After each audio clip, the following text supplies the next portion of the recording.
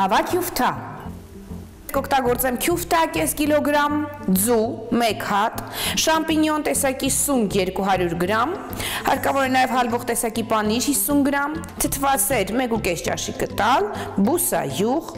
ալուր 1 ճաշի կտալ եւ համեմունքներից կօգտագործենք սև ու կարմիր պղպեղներն ու աղը։ Կես կիլոգրամ քյուֆտան տեղափոխել խորը տարայի մեջ, վրան ավելացնել 1 մանր կտրատված սոխը, 1 ձուն, համեմել սև եւ կարմիր պղպեղներով, ավելացնել 1 ճաշի գտալ ալյուր։ Այս ամենը լավ հարելուց հետո տեղափոխել նախապես տաքացված բուսայուղի մեջ։ Հավասարաչափ տարածել ամբողջ թավայի մակերեսով։ Մի կողմից կարմրացնելուց հետո շրջել։ Այնուհետև